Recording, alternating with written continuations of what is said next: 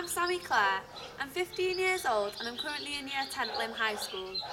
I've been riding for all of my life and when I was four I started to compete on a little grey pony from Happer who we still own.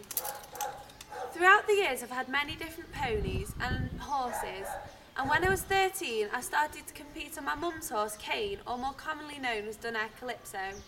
We went to Cheshire County and came third We went to Nantwich County and won, and we also went to Flint and Denbigh County and won and came supreme champion.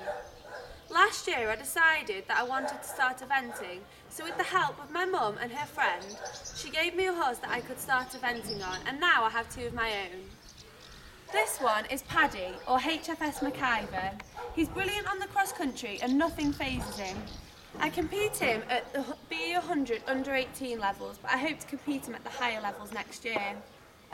This is Rupert. He's just five years old, and I got him for my 15th birthday for my mum and dad. He's brilliant on the cross country, but at the moment I've I can only stay at the BE90 levels because he's very scared of water. By the end of this year, I hope to be able to qualify for Aston-le-Walls for the Riding Club Championships.